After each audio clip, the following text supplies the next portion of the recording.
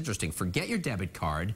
Cardless ATMs are now here. And as Chris McKinnon found out, these machines aren't just more convenient, they can also keep your money safer.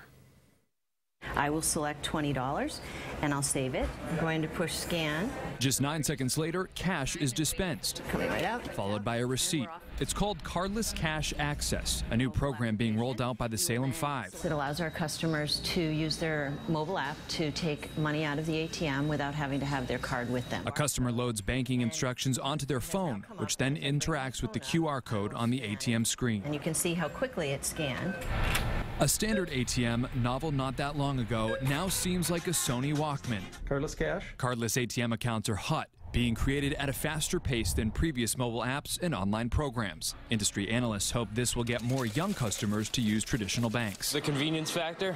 Um, you don't have to have your card with you or remember an account or uh, number. Convenient, yes, but safer too. By removing the ATM card from the transaction, criminals can't get the encoded information stored on the back of the card. Skimming uh, can be conducted uh, pretty much anywhere. Skimming is when a fake reader like this, pulled off an ATM in Falmouth just a couple of weeks ago, is installed over a legitimate system to steal personal information as a card is swiped. A criminal will position a pinhole camera to get video as a password is entered on a keypad. Uh, it's a growth industry. Cambridge detective Brian O'Connor specializes in financial crimes. It's very quick money. Once they have that information, all they have to do is dump the information off of the devices, create a, uh, a counterfeit card, and go to a, uh, an ATM and start making withdrawals. My identity is secure because my voice is my passport. Banks are trying to stay one step ahead.